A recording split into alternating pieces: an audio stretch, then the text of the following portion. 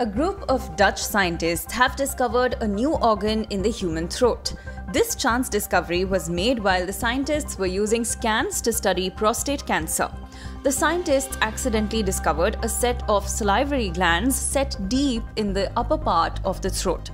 Because of their location over a piece of cartilage called the torus tubarius, the discoverers of these new glands have dubbed them the tubarial salivary glands. The glands probably lubricate and moisten the upper throat behind the nose and mouth, the researchers wrote online in the journal Radiotherapy and Oncology. Until now, there were three known large salivary glands in humans one under the tongue, one under the jaw, and one at the back of the jaw behind the cheek.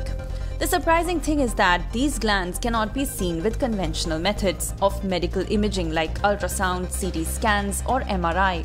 The unknown entity was identified when the doctors were using an advanced and new type of scan called PSMA PET CT.